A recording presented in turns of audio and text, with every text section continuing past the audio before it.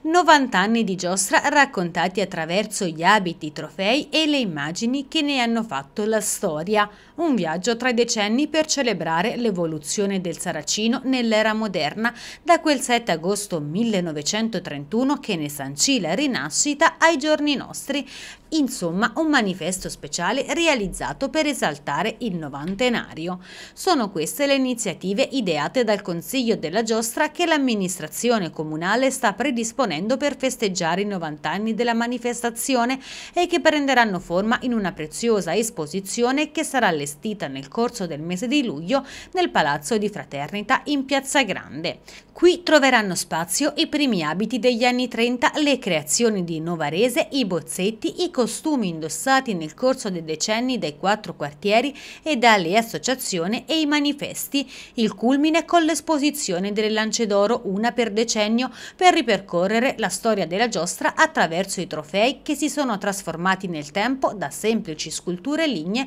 a vere e proprie opere d'arte. Ad impreziosire la mostra, infine, video e foto del passato in un racconto per immagini che restituirà al visitatore pagine storiche della giostra del Saracino e dei protagonisti che l'hanno resa grande. Oltre a Piazza Grande, che sarà il fulcro dell'esposizione, il percorso celebrativo si snoderà anche attraverso il centro storico con l'esposizione di otto costumi storici degli anni 30 e 50 a Palazzo Lombardi, grazie alla collaborazione con Giuseppe Angiolini, recentemente investito dal sindaco di Arezzo del ruolo di direttore artistico della città.